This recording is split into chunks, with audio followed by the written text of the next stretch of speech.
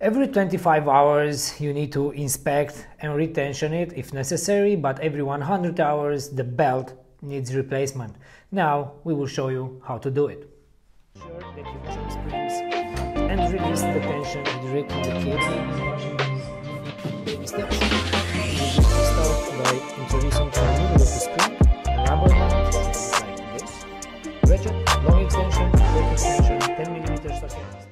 Hello there, my name is Stefan. Welcome back to the Paramotor Engine Maintenance series and in today's episode we will show you how to properly replace and retension the transmission belt. To complete this operation we will need a few basic tools. Small ratchet, long extension, short extension, 5mm Allen bit, 13mm socket, torque wrench, tension adjustment key that Vittorazi is providing with every single new engine, gloves and of course eye protection. First we need to loosen up a few turns this 8mm bolt with a 13mm socket.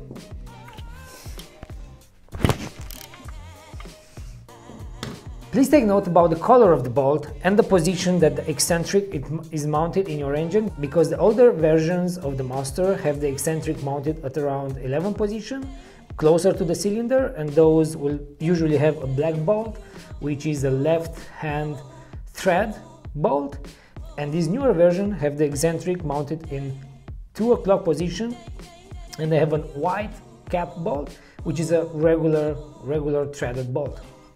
So please loosen just 3-4 turns the, the bolt no need to remove it. The 5 millimeter Allen key just loosen up the 6 millimeter bolt.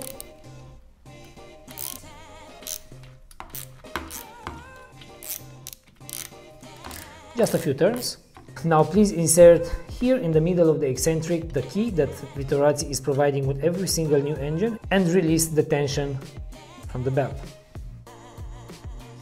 Now you can slide the old belt. After removing the belt, what I like to do is just turning it upside down and inspect it and check for any kind of damage or unusual wear, which could indicate some problems with the, with the pulleys. This one is looking pretty good for 70 hours. Now we should inspect the pulleys and the bearings. These particular pulleys and bearings are very good. No unusual play, no unusual sounds. So now we can proceed installing the new belt. If you have debris or any kind of dirt inside the grooves, you can blow them with a compressed air or with just a brush. These ones are looking incredibly clean, so we will just proceed with installation of the new belt. Installing the new belt is pretty much straightforward.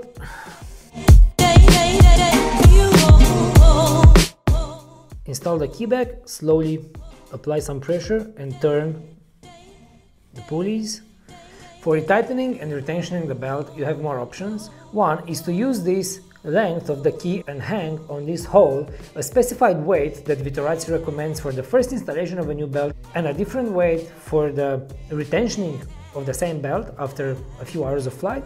Or what I like to do is to use the same key, tension the belt in baby steps and check the tension after every single adjustment with my phone with the application that Vittorazi recommends. It's called Tension to Go, it's from Continental and it's especially for checking belt's tension. For doing that, we will need to take the 13mm socket, tighten just a little bit this 8mm bolt, just tighten it to be snug, so we have a little bit of friction in between the eccentric and the crankcase. So when I make a small adjustment, it holds the position. Now let's tension it just a little bit. Check it.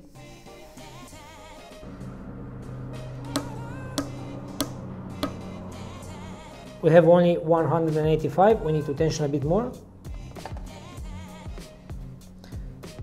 Don't forget turn the belt. Press start again.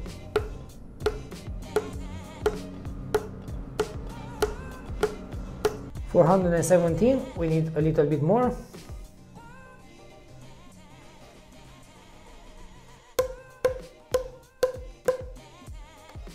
Five hundred eleven We are exactly in between the values that Vittorazi recommends, which are 500 and 520 Hz for the first installation.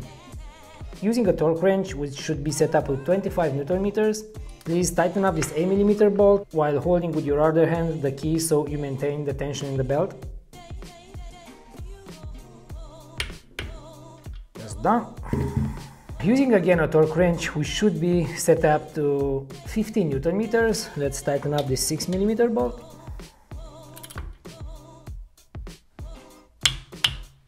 After tightening down both 8mm and 6mm bolts, we should recheck the tension again. 509 Hz, we are good.